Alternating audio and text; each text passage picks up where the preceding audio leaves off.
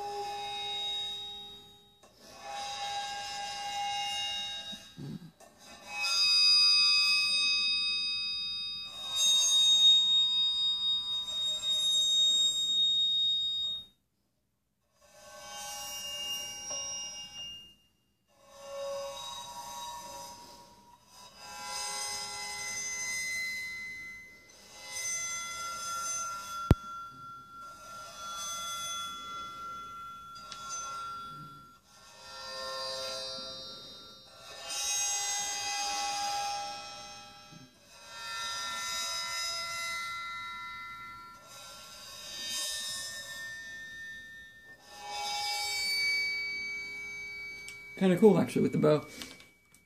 But as far as back to it's uh once again it's a Wuhan 10 inch splash.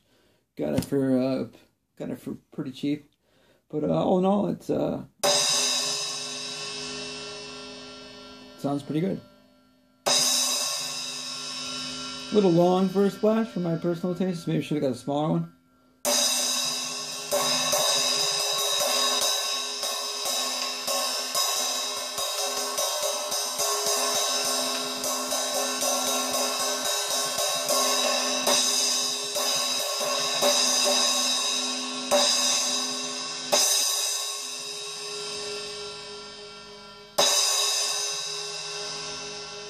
Got kind of some weird overtones, but uh, I'm sure in the you know with the whole set going on, I don't think anybody would would make too much of a big difference. But one last time.